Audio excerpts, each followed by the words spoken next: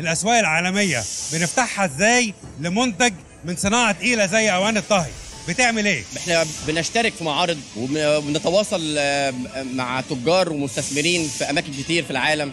إحنا حاليا متواجدين في أكثر من 25 دولة آه، وفي فرصة دايما لل- للتوسع آه، في أوروبا وفي أفريقيا وفي الشرق الأوسط وفي الدول العربية. يعني سنوكي في أوروبا ألمانيا فرنسا موجود, في بعض دول أوروبا ده حقيقي. بس الاكثر طبعا في الشرق الأوسط وفي أفريقيا وفي وفي الدول العربية.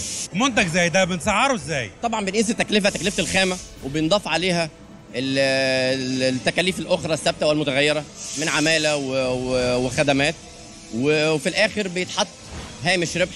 طبعا لازم يكون بشكل تنافسي عشان نعرف ننافس آه، ال- السوق في السوق المحلي وسوق التصدير.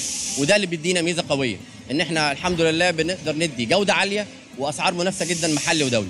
أخيرا